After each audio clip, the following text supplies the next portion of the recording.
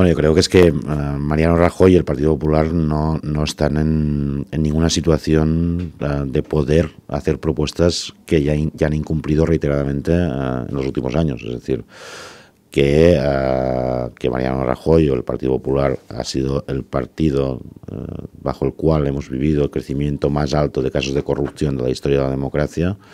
De una forma exponencial y que uno siempre, cada nuevo día, descubre que lo del pasado quedaba, era, era, más pequeño que lo que venía en el futuro, creo que ese partido y ese gobierno no tienen ninguna legitimidad, ninguna, para hablar de, de cómo acabar los casos de corrupción. La mejor forma, la primera base para acabar con el problema de la corrupción en, este país es que el Partido Popular no esté en el gobierno. Eso me parece absolutamente evidente y con el caso de Rita Barberá me parece más que evidente que más que atacar los problemas de la corrupción se blindan uh, entre ellos.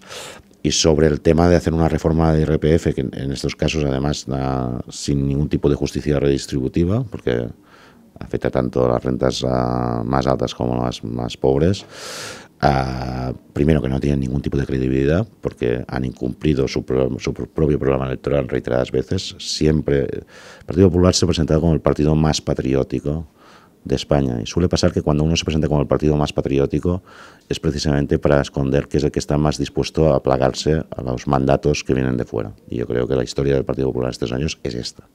Es decir, plegarse constantemente y reiteradamente a los dictats que venían de fuera en este sentido. Es más, proponer ahora mismo una, nueva reforma fiscal que no sea redistributiva es contrario a la propia salida de la crisis. Es decir, en esos momentos la desigualdad social es uno de los principales problemas para activar el consumo interno y para poder hacer una salida de la crisis mínimamente sostenible y equitativa.